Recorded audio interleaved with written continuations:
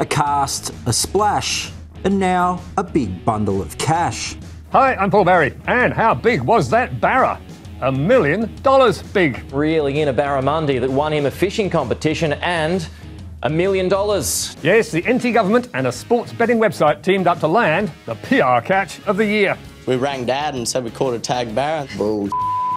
A 19 year old Keegan Payne, one of eight children, was humbled by the win. We're from Katherine, only a small town. It's pretty hard going for us at the moment with money, but yeah, now with a million dollars, we don't have to complain about it. Talk about a fairy tale. A Northern Territory inspired fairy tale. You cannot get a better, better fairy tale than this. And it was so good, the NT Chief Minister flew in by helicopter, only to stuff up his name. Congratulations to Kieran.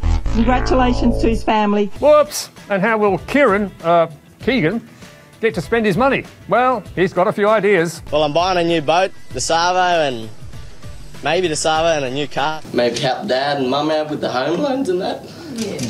Yes, winners are grinners, with Keegan reeled in by Sky's Peter Stefanovic for a live interview. So, how does it feel to be a millionaire? Oh, pretty good so far. But Stefanovic quickly crushed the fairy tale with a catch of his own. There is a claim online that you stole a Polaris Ranger and a Polaris Quad that you and your friends stole and damaged from a business a few years back. First of all, is that true? Yes. Wow, gotcha!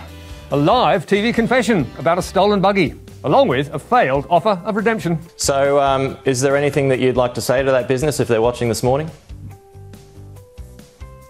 Um,